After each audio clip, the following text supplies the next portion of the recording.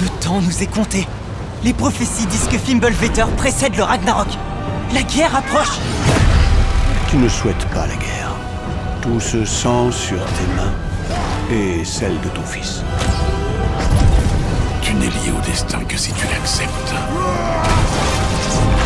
Nous façonnerons notre propre destin.